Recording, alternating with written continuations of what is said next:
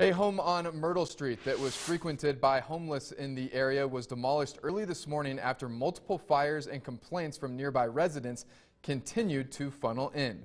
KTSM 9 News reporter Tani Davis spoke with some of the residents from the complex next door and what they see for the future of their neighborhood. Tani.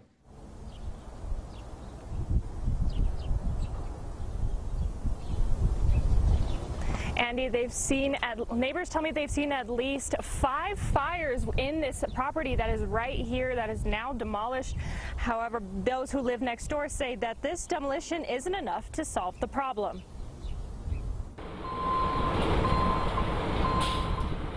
Residents in the neighboring apartment complex waking up to a demolished building of what they call a problem property.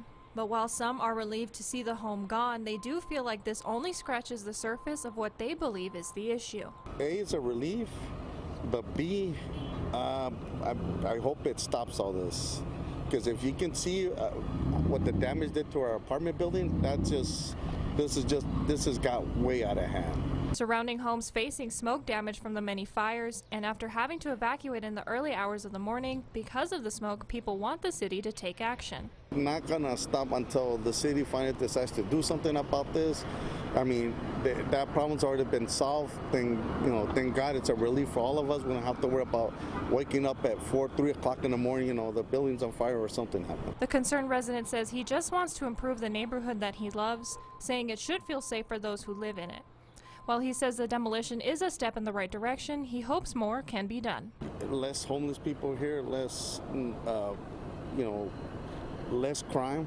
Because this is, like I said, this is not a bad neighborhood. You know, the lady next door has a little girl. You know, it, you can't bring her out because oh, this happened. You know, it, it, this situation needed to be fixed. We spoke with some other residents in the area, and they actually brought up the possibility of having the Opportunity Center, which is down that way, relocated. For now, Tani Davis, KTSM 9 News.